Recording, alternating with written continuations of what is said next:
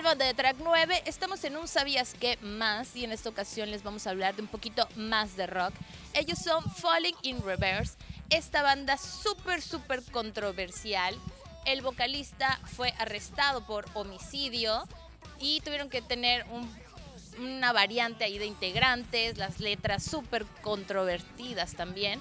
Pero vamos a escuchar un poco más de la historia y ahorita regresamos. Falling in Reverse es una banda estadounidense de post-hardcore formada a finales del año 2008 en Las Vegas, Nevada. En sus comienzos se llamó From Behind These Walls debido al reciente entonces arresto del vocalista Ronnie Radke.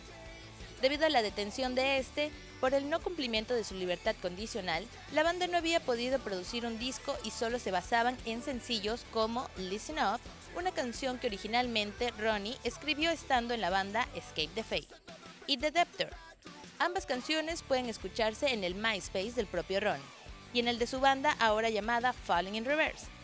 Por sus problemas de derecho de autor, su álbum debut The Drugging Me Is You fue lanzado a mediados del 2011 y ha tenido un gran recibimiento del público, siendo su primer sencillo Rise by Wolf en el número uno en el iTunes Rock Chart por dos semanas.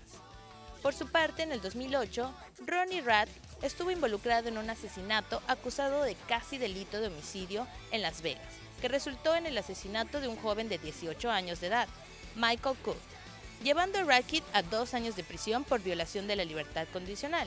A su salida en el 2010, la banda entró al estudio grabando su primer álbum.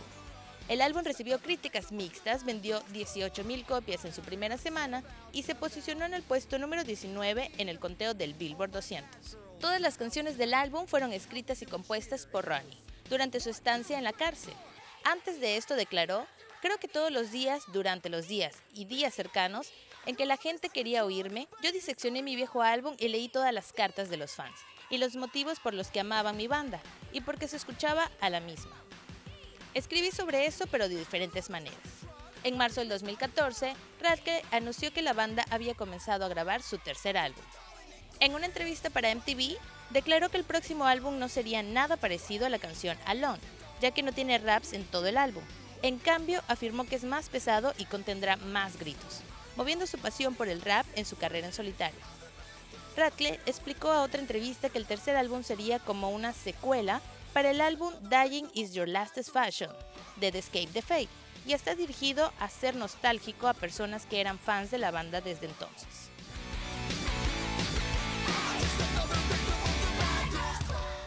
Pues ya escucharon un poco más y ya conocieron un poco más de Falling in Reverse.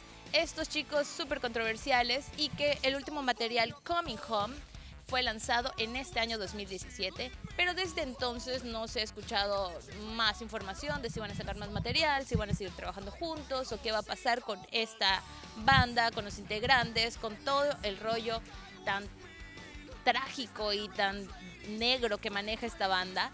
Es muy, muy diferente la vida personal con la vida laboral, porque en sus trabajos siempre han salido destacando, han llegado a todas las listas de chart en los primeros puestos, así que no se dejen de llevar por toda esta influencia. Pero si les gusta, recomiéndenlo, coméntenlo ahí en las redes sociales. Este fue el Sabías que con Falling in Reverse.